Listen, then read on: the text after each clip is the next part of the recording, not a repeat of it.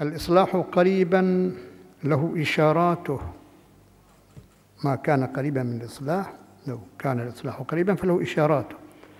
الإصلاح القريب له إشاراته والمبشرات الدالة عليه ولا شيء من ذلك وما على الأرض أقرب إلى العكس. الإصلاح المؤجل وبعد أمد بعيد وهذا في حكم العدم. إذا كان هناك نية إصلاح على المدى البعيد فإنه في حكم العدم. وفيه فتح الباب لعنف الدولة على مصراعيه وما ينتجه هذا العنف من مخاطر على الوطن كله وما يتسبب إليه من تحطيم كل جسور وما يفرزه من أحقاد ويحدثه من دمار ويسد الطريق إليه. الإصلاح المؤجل إلى المدى البعيد هو نفسه يسد الطريق إليه.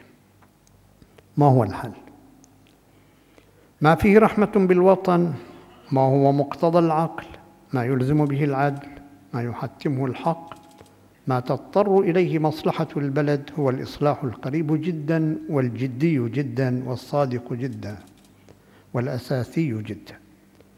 فإن يكن فإن يكن ذلك فهو خير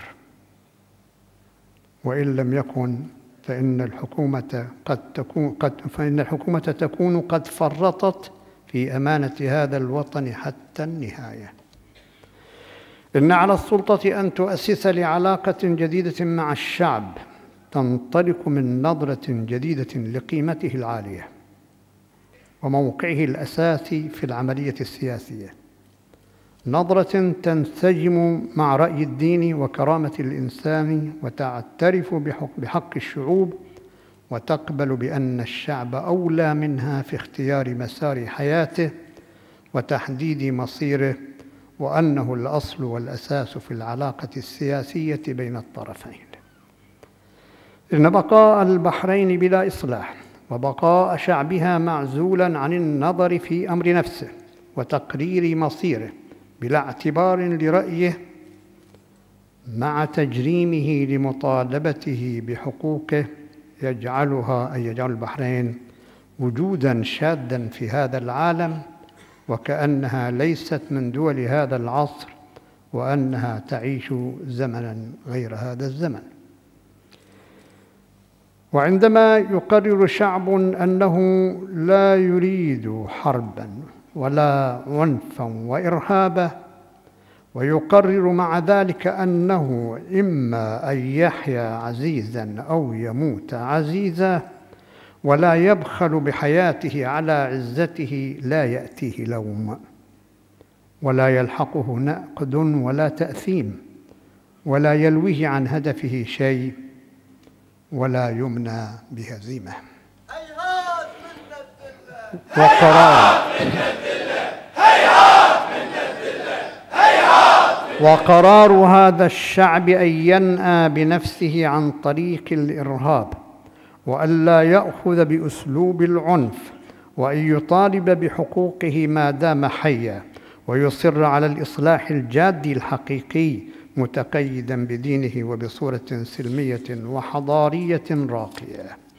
هذا الشعب مصر على أن ينتصر وانتصاره في استرجاع الحق وإقرار العدل وإنصاف كل المواطنين وتثبيت الأخوة الإسلامية والوطنية في هذا البلد وتثبيت المرجعية الشعبية في الشأن العام بدل أن تكون المرجعية الأصل والمبدأ لجانب السلطة وأن تكون لها الوصاية الشاملة والولاية التامة والطاعة المطلقة على الناس هو انتصار للشعب كله لا فئة خاص لا لفئة خاصة منه وللوطن كله لا لجزء منه على حساب جزء آخر. إنه انتصار لا يعني ظلم أحد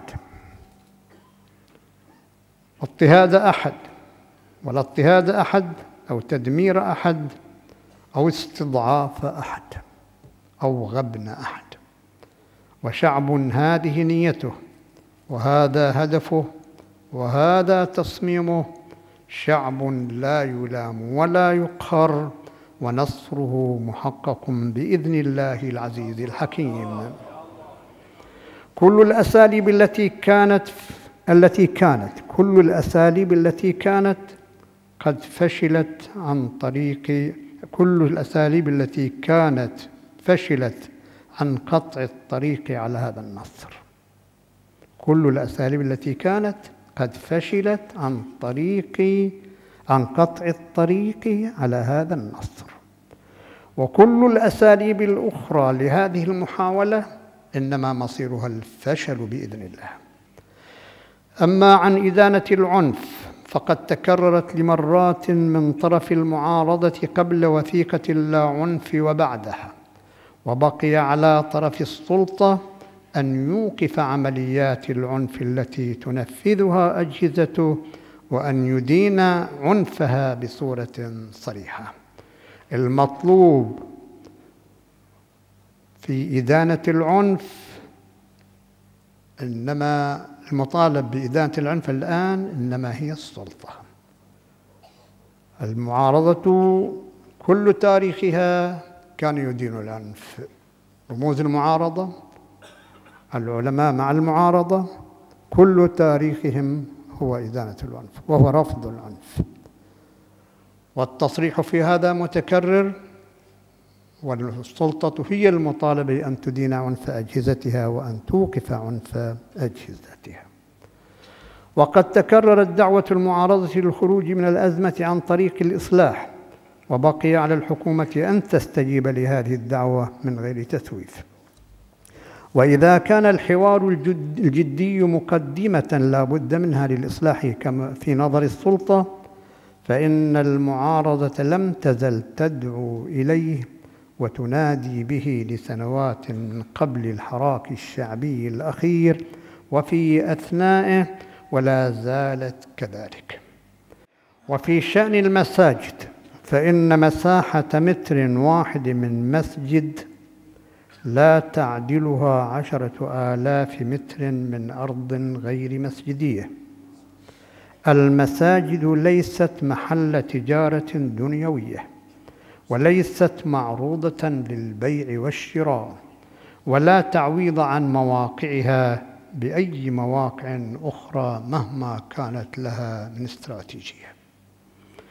ونحن قبل أن ننظر إلى الناحية التاريخية لأي مسجد وقدمه زمنيا وما يحمله ذلك من دلالات موضوعية خاصة ولها قيمتها يتركز نظرنا اولا وبالذات على القدسية المسجدية ووجوب رعايتها على كل المسلمين.